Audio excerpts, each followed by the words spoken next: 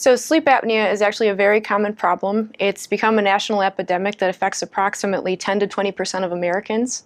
We expect this number is only expected to grow. It's a chronic disorder of sleep and breathing in which the upper airway actually obstructs and collapses during sleep. And this can lead to disruption, disruptions in sleep as well as decreased oxygen levels throughout the night.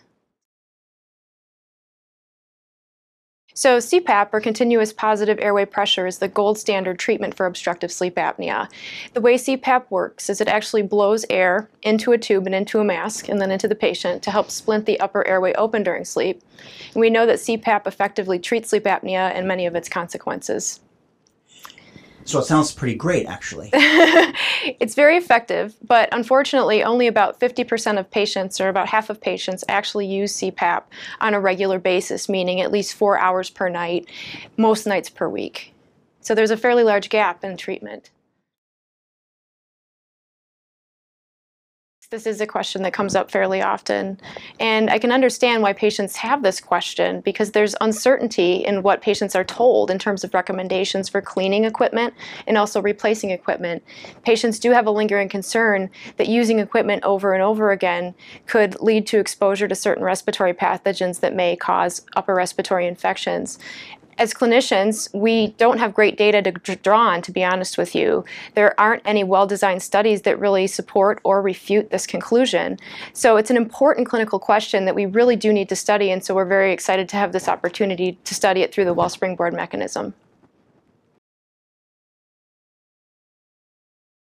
The primary goal of this proposal is to evaluate the frequency and the different types of, of upper respiratory infections in patients who have obstructive sleep apnea who are getting ready to start CPAP. And we want to compare these rates before they start CPAP and afterwards. We also want to explore whether or not there are certain patient populations, patients with chronic diseases, for example, who may be more or less prone to upper respiratory infections after they start their CPAP. And this can be accomplished actually fairly easily using available patient data that we have right here at the University of Michigan.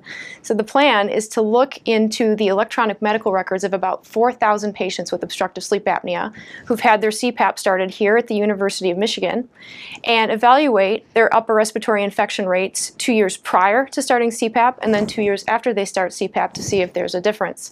And we can do this actually very efficiently using an electronic medical record search engine that was actually created here at the University of Michigan. Uh, many researchers use it, myself included. It's called EMERSE. And EMERSE is a very handy tool that allows you to query hundreds of patient medical records at one time uh, using specific search terms so we can identify who have had uh, recent um, upper respiratory infections in the pre-CPAP period as well as the post-CPAP period.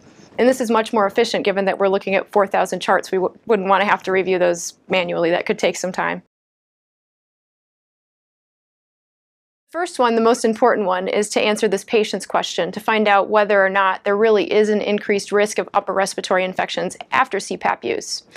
But regardless, using a data set this large, uh, this gives us the ability to really gain some important new insight on relationships between obstructive sleep apnea, CPAP, CPAP treatment, upper respiratory infections, and even other clinical variables that are important to the public.